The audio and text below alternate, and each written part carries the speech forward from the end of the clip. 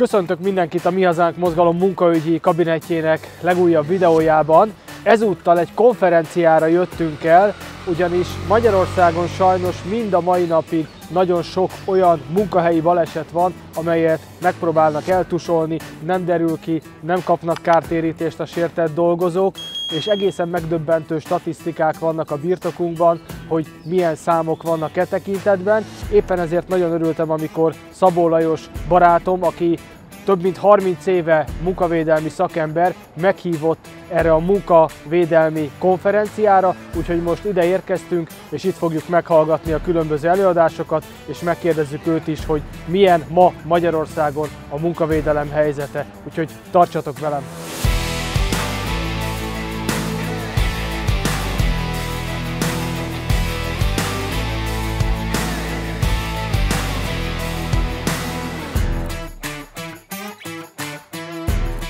Itt áll mellettem Szabó Lajos.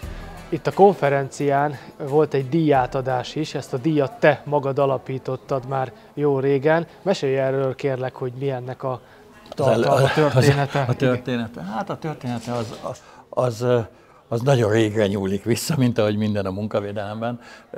Én, mint gyakorló munkavédelmi is azt láttam, mint amit ti is itt hallottatok a, a, a díjjal kapcsolatban, hogy, hogy ennek a szakmának, ennek a munkavédelmi szakmának nem volt elismerése. Tehát, tehát nagyon sok nagyon jó kollega van, akik odaadóan, szívvel, lélekkel dolgoznak azért, hogy a munkavállaló, aki reggelben megy a munkába, az délután is haza tudja menni.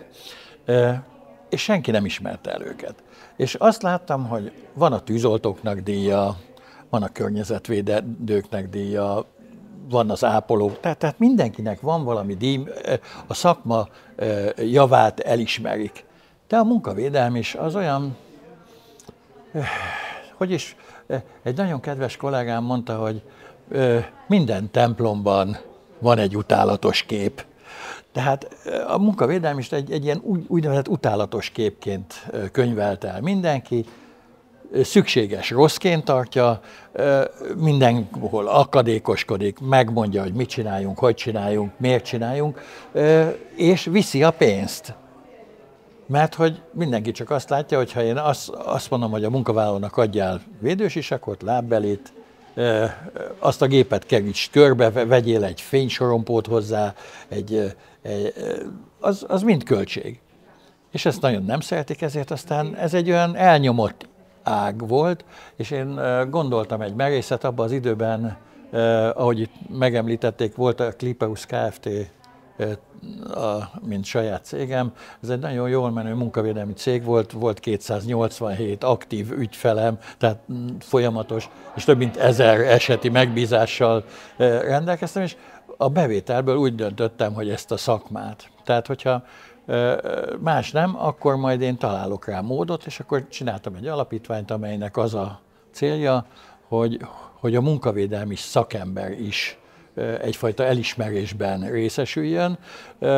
Az alapító okiratban meghatároztam, hogy a szakma akkori képviselői, tehát a Magyar Kémikus Egyesület biztonságtechnikai tagozatától kezdve minden olyan szervezet, aki munkabiztonsággal foglalkozik, az jelöltet kell, hogy eljuttasson a tárgyévet követő január végéig a MUFOS-hoz, tehát a Munkabiztonság és Foglalkozási Szövetséghez, aki összeül és megnézi a jelölteket, a jelöltek szakmai múltját, és akkor ez alapján dönt, hogy abba az évben ki is lesz majd a díjazott.